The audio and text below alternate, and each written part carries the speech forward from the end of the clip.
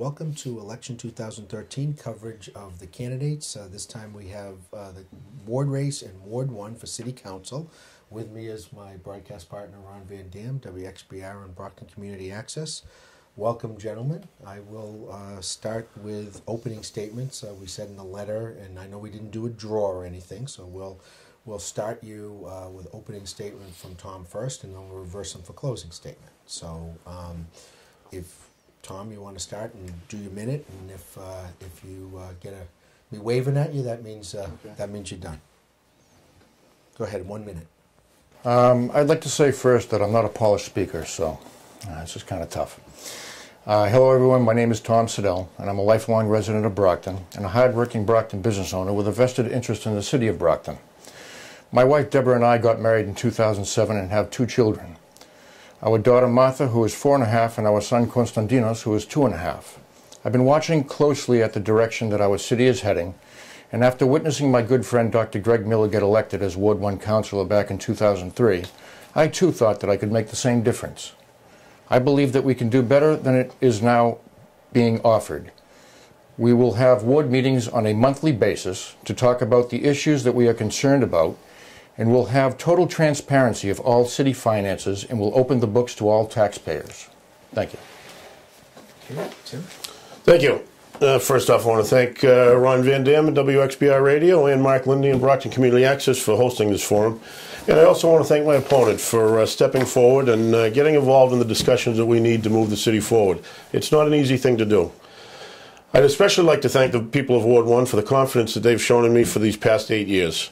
I'm very proud of how Brockton has weathered these last eight years, coming through the worst economic downturn that this country has seen since the Great Depression. As we move out of this downturn and into an improving economy, it is time for the city to start to commit to the improvements and programs needed to expand the tax base, attract new businesses, and continue to make Brockton a safe, vibrant place that we can proudly call our home. Thank you. Okay, you guys both were under 60 seconds. That's fine. Allow for more questions. First question up is uh, from Ron. Do you have any specific issue that you feel needs to be addressed after this election? Uh, something that you want to make a, a mark on? And we'll start with Tim. Uh, well, yeah, actually, and in fact, I'll probably be filing a resolve uh, shortly to. Uh, one of the places we've wasted some money uh, is the opportunity for some money recently. Is I'd like to uh, file a resolve to bring in uh, a, discussion about the Com- Community Preservation Act, which was enacted by the state years ago and was not a good fit for what Brockton needed at the time. The Community Preservation Act is a tax on real estate uh, transactions. The state uh, currently collects those transactions, and in most years, we in Brockton have lost out on about eight hundred thousand dollars in money that we could have had. Now we can only have that if we accept the Community Preservation Act, and uh, originally the act was only for uh, improving low-income housing, which Brockton doesn't need any more of, and for uh, purchasing large tracts of open space. We don't really have the uh, ability for that. So uh, I will be bringing a resolve forward to uh, see if that fits for Brockton now and what you can use that money actually for improving our playgrounds. Tom, same question. Could you just repeat the question one more time? Yes, uh, once this election process is over and you're in a seat, uh, is there something that, one issue that you want to attack immediately as councilor? Well, uh, to start, I mean, we're spending $6 million a year on the desalination plant and not getting a drop of water in return. So that's a big issue with me. And that's something that I would like to start on. Uh, we're spending another $1 million a year uh, paying for the Brockton Walk, uh, spending another $1 million a year paying for the Brockton Rocks water and electric bills through that, um, through the, uh, yeah. Uh, we're, we're- spending another $1 million a year paying for the Brockton water and electric bills and letting Stonehill get away with not paying us millions of dollars for using our sewer resources. So that's something that I would like to jump into. Okay, um, so I'll do a follow-up to your Sure. question. Um, do you want, I'm, I'm gonna ask you both if you wanna elaborate on that. That's been an issue that's been in the news, been in the newspaper, it's been discussed forever at city council and for the last three election cycles that I can think of. Uh, Tim, why don't I? We're gonna go back. You know, I'll when, when he finishes the last one, you get the next one, and vice versa. Sure, and elaborate on, actually, Yeah. like to elaborate on the issues that uh, obviously Mr. Sedell has talked about, and there are issues that have been brought up many times. The uh, desalinization contract is a very frustrating thing. We're paying $6 million for water that we're not using, for just the ability to get to that water. Contract that was forced on us by the state years ago, before this current council was there, before I was there. Uh, but again, there is one upside to having that desalinization plant. And the problem is, until that, we've only had the uh, one source, major source of water. We did have a small backup with the Avon uh, Reservoir, but really very little backup water. If there was ever a catastrophic issue, we would be would have had no access to, to water for fire protection, or, or in effect, long term for actual drinking water. So uh, the the key on the desal plant is do we buy the plant down the road? And again, if that number can be made pro- proper, it's probably the right thing for us to do because we are going to need that water at some point. It's very frustrating right now, but it is a, a contract that previous administrations entered into, and there's not much we can do about that.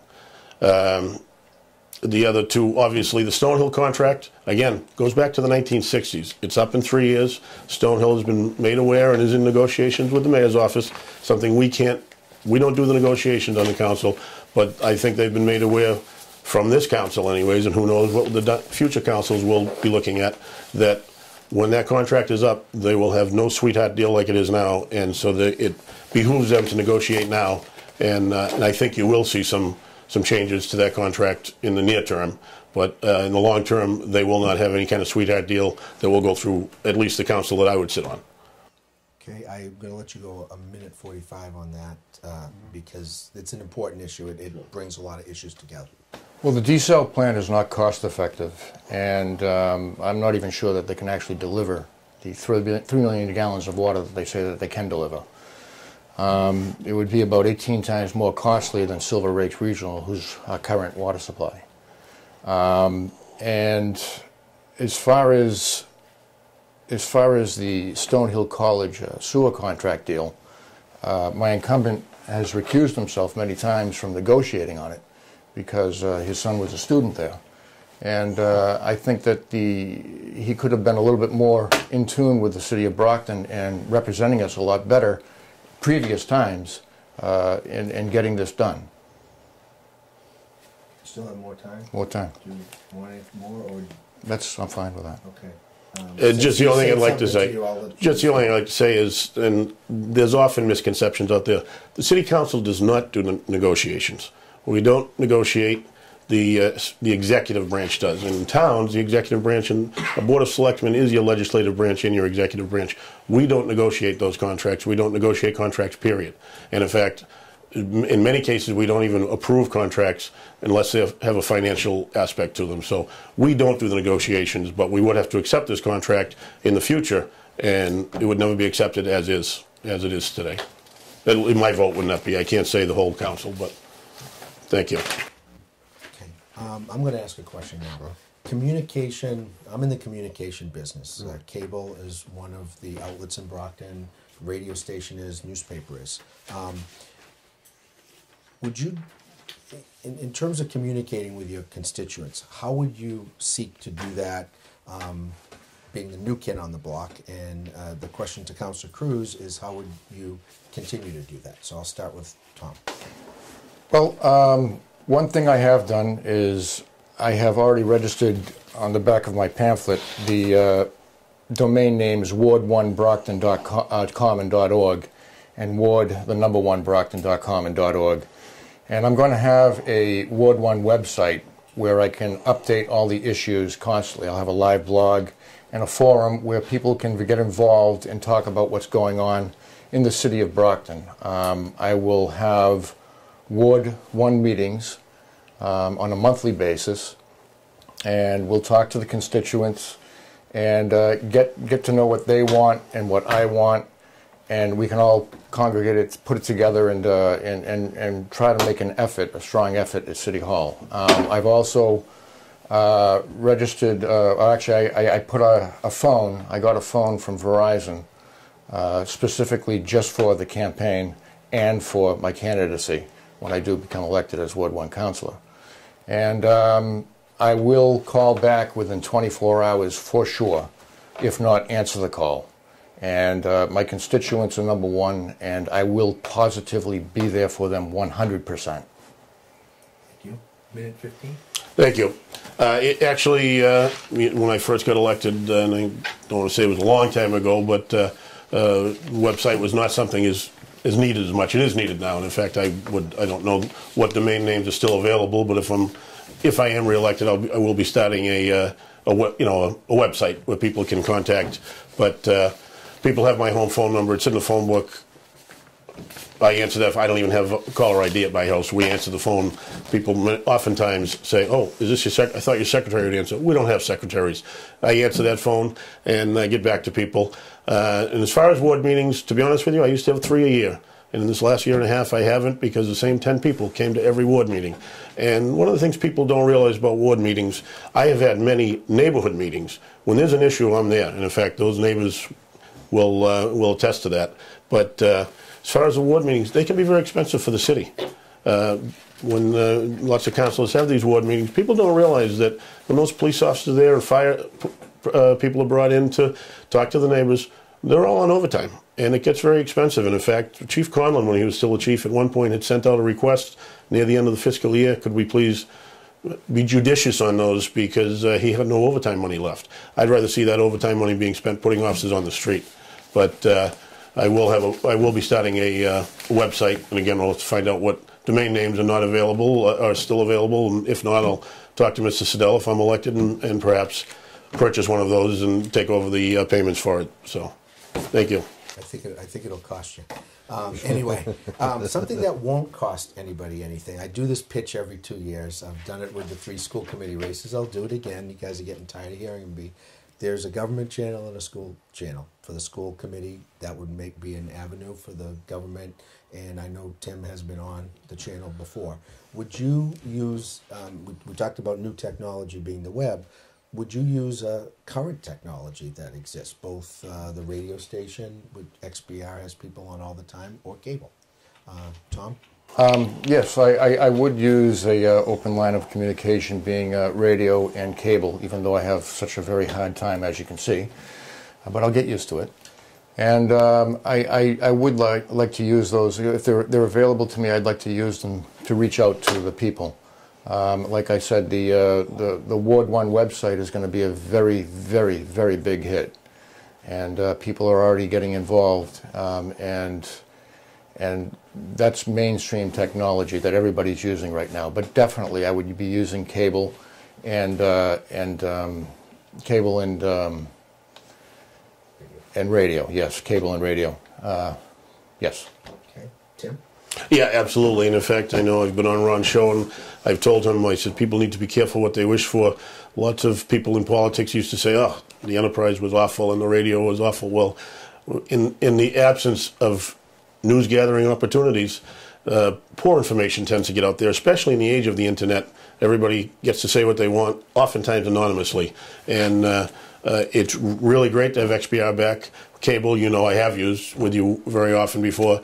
And uh, even though the newspaper business is a changing industry, it's uh, uh, it's important for the city, and I would hope that the enterprise actually does a better job of covering what goes on at the city council. Many of our meetings they don't have any press there, and that's uh, that's a shame. And I know it's a difficult thing because it's a business, but uh, it's really important that again that XBR is back and that Ron's doing his show in the morning, and uh, and he's been great to work with. In fact, I've been able to come in at off hours with him and do, do an interview, and and uh, love to do more of that because uh, again, everybody doesn't have cable, you know, and so you have to use every different means that you can to get the word out. Thank you, Ron. There's two uh, camps in the financial status of the city.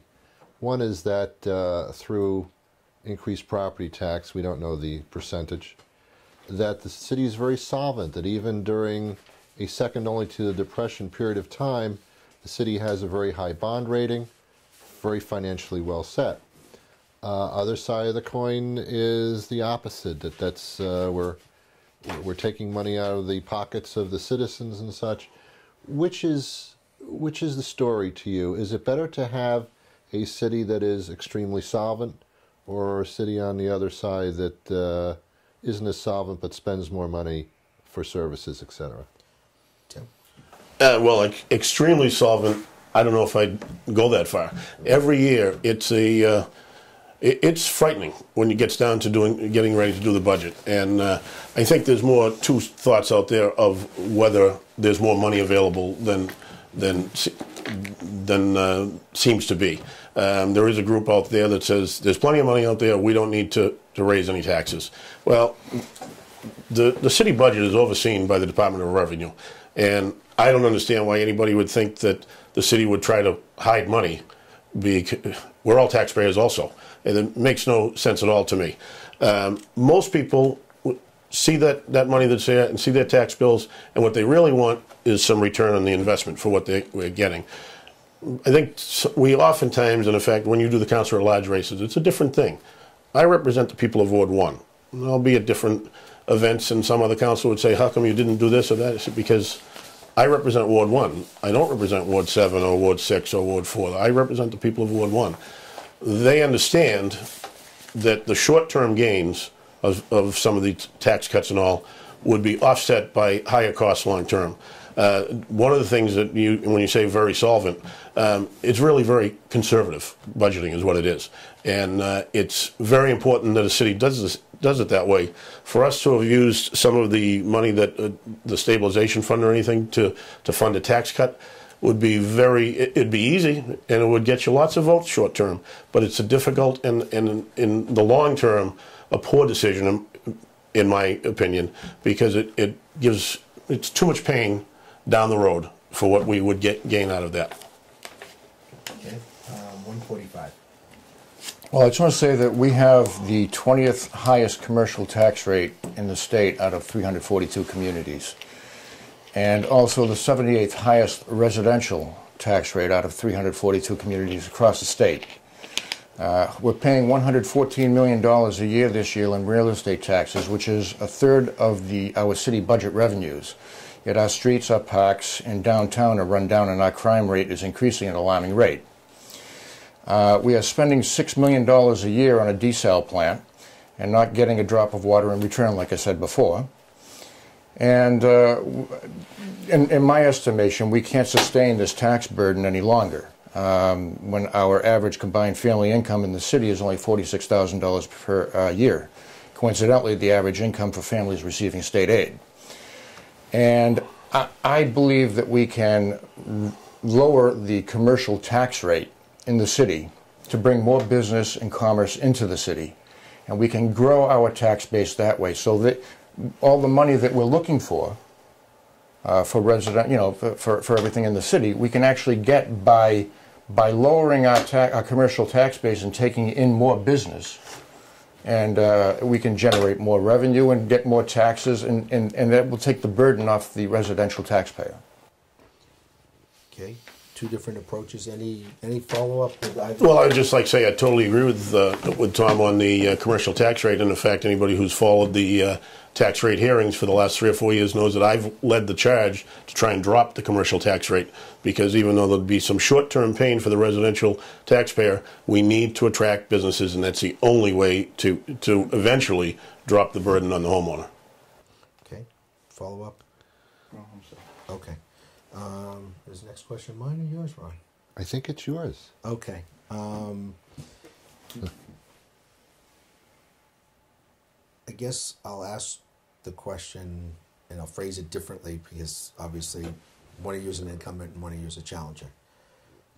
What prompted you, Tom, to get in this race? What's the reason that you're running for Ward One City Councilor? You, from my understanding, you've never been involved in city politics before. No. Um, I've never been involved in city politics, and uh, I just, I've gone to tax hearings uh, at, City Hall and spoken, and it just seems to go over everybody over everybody's head. Um, I get uh, fed up with everything that's going on, and I figured that this is my chance to get in and try to change uh, things the way that I would want to see them, the way that constituents would want to see them. I, I get a lot of people at the liquor store coming in saying, well, you know, you have a lot of great ideas about everything. Why don't you run for office? And I'm like, well, I don't know if, you know, if I really have it in me to run for office. Uh, and uh, Dick Sicaro ended up coming into my liquor store and uh, prompted me to uh, get involved. So I, I became involved in the BLT, the Brocktonians for Limited Taxation, uh, for a very short time um, before deciding to actually run. And uh, the limited taxation, you know, it's a group of, you know, Democrats and Republicans all together, um, combined together to, for a common cause to lower the taxes on the city. And I feel that there are a lot of uh, different ways that we can go about lowering the taxes in the city. Like I said, the commercial tax rate. And uh, while we're paying $32 a year, I mean, it's, it's really, really high. And uh, we're strangulating the businesses in the city that are trying to make it. And we're shutting the doors uh, to our city for, for businesses looking to come into our city. They're going to Avon, they're going to uh, Stoughton, they're going to Easton instead, who have a, have a much lower commercial rate. And um, I don't like what the current administration is doing.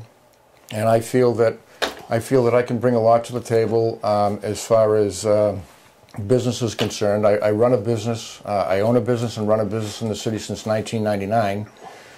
And I really feel that I can make a positive, positive difference. Okay, two, two minutes, Tim. Why do you want to stay and be a city councilor in tough economic times? Well, I think one of the things I'm proudest of is my leadership and maturity at the city council. Uh, you know, we are looking at our federal government right now, where one side won't even talk to the other. They don't have any interest in uh, in trying to find compromise and common ground. Uh, I think it's important that I stay there. And let me tell you, it's uh, I thought very long and hard about whether I wanted to come back. It's very frustrating. It's very time consuming. And by the way, I give you a lot of credit. Deciding to run is not easy, and it takes time away from your family, and it's a difficult thing to do. It's a difficult job to do. But uh, I think it's important. I love the city. I could have left any time. Any one of us could have. I love Brockton. I'm still here. I've raised three children here, with two that are out of college and went through the Brockton school system, and I still have a sophomore at the high school. And uh, I love love being here and realize to solve some of these difficult issues, it takes takes people with uh, with thoughts and with uh, the courage to stand up and make some of those difficult votes.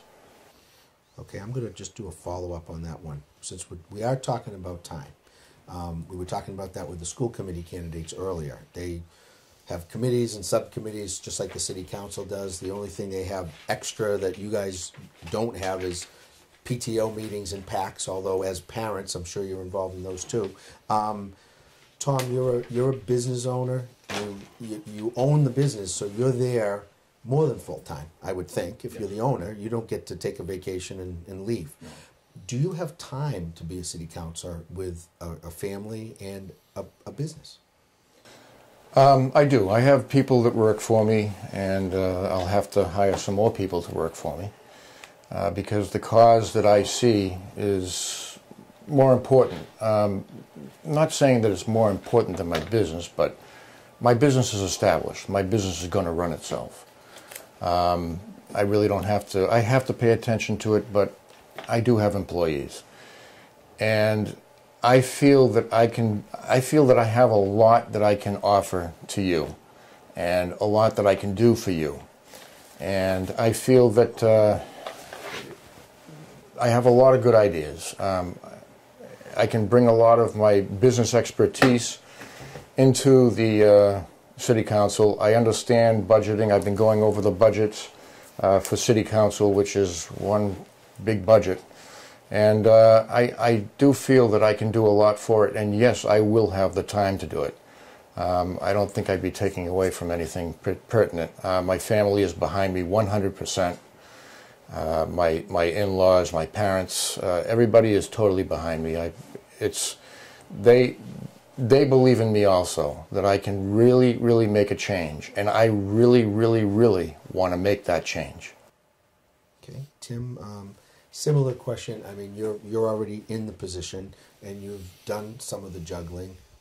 Does it get difficult? And are, are, you looking forward to more of it? Uh, it certainly gets difficult, but uh, uh, part of the reason you do it, and in fact, and I'm sure Tom would be able to make the time, you do it because I, I think almost anybody in politics, as much as there's plenty of people in the public that like to be cynical and may not believe this.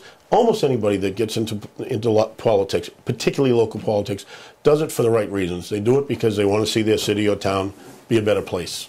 We can have differences of opinion on how to get there, but I don't question anybody's commitment on why they're there.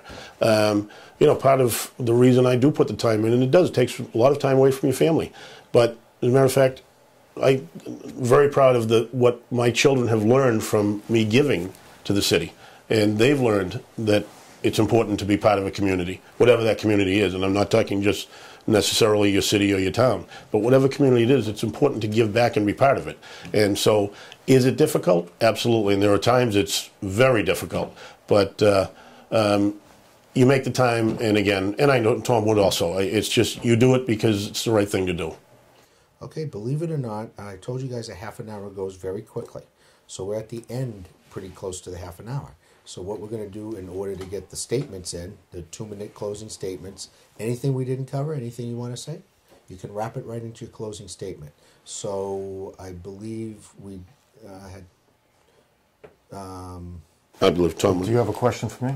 no, no, it's not a question. It's, Oh, it's a the question. closing. Oh, it's the closing. We'll do the closing. Yeah. Okay. did go by fast. So So then, Tim wow, that went by already? It did Tim go by what? fast. Tim is first. Tim's first. Thank you. Two minutes. Again, I'd like to thank WXBR and Brockton Community Access for Access for hosting this forum. I want to thank Tom for joining in the debate over the future direction that we take. And to the people of Ward 1, I'm very proud of the work that I've done in my almost eight years as your representative in the Brockton City Council. With two children that have gone through the wonderful Brockton school system and the father of a current Brockton High School student, I see firsthand every day the success stories that are happening in this city. While some people regularly lament how bad a city Brockton is, I see a different place. A school system that is one of the best in the state, topped by a high school that is, in my opinion, second to none. D.W. Field Park, a 750 acre jewel in an urban setting, 200 acres of passive recreation land in Ward 1 alone, protected from any future development by work that I did with the Conservation Commission just this last two years. State champion soccer teams, the Brockton Rocks, the Brockton Symphony, the list goes on. However, we're not a city without issues. Crime continues to plague, plague us, particularly in our inner city. We need to continue to support our undermanned police department as they continue the fight on the streets. The foreclosure crisis has affected the city of Brockton more than most other cities. The work that the City Council has done in the past two years on registration of abandoned properties has helped clean up neighborhoods considerably. Ward 1 is a special place in Brockton, and we have special issues to face it. I'm proud of my work representing our neighborhoods, the nicest in Brockton, from poor and densely designed development projects. Brockton needs business development, but can't afford poor decisions that have adverse long-time effects on our neighborhoods. I have led the fight on the City Council to drop the commercial tax rate to a more modest percentage, which in the long run will help us to bring a, a lower residential tax rate as we attract more and better businesses to Brockton. But perhaps my proudest accomplishment is my leadership and maturity on the City Council itself. While our country is held captive by a Tea Party minority and all of Washington resorts to partisan bickering, bringing government to a standstill, I've worked very hard with my colleagues on the Brockton City Council to find common ground on issues. For all these reasons, I ask you, the people of Ward 1, to give me your vote on November 5th. I am fully vested in Brockton as a resident and business owner. I believe in Brockton and have no intentions on leaving. I am here to stay. I want to return Brockton back to the people and not to the politicians. I am not a career politician, but rather I am just a resident like yourselves who wants the best for our city. Councilor Cruise, you have lost complete contact with the voters of Ward 1, and I will restore their faith in city government when I am elected as the next Ward 1 city councilor. I will have monthly ward meetings, radio and cable announcements, a callback within 24 hours, and a full open line of communication with the people of Ward 1, and represent their better interest as opposed to the insider's special interest. Unlike my opponent, I will vote against any new tax increase, and unlike my opponent, I do not have any relatives on the city payroll. I ask for your vote on November 5th, and thank you. Okay, and we have, what, a minute to wrap? Less than a minute? Okay, I want to thank you both for coming in here. Good discussion of the issues. Um, just scratch the surface. We could easily do another half an hour, no question. I want to thank Ron Van Dam and WXBR. And uh, most importantly, November 5th is Election Day. Make sure your voice is heard and you get out and vote. And we'll have continuing coverage on both the media outlets all the way leading up to the November 5th election. Thank you for watching.